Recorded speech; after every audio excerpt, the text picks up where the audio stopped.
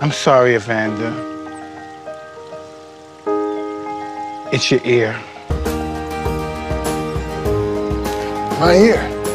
I kept that in formaldehyde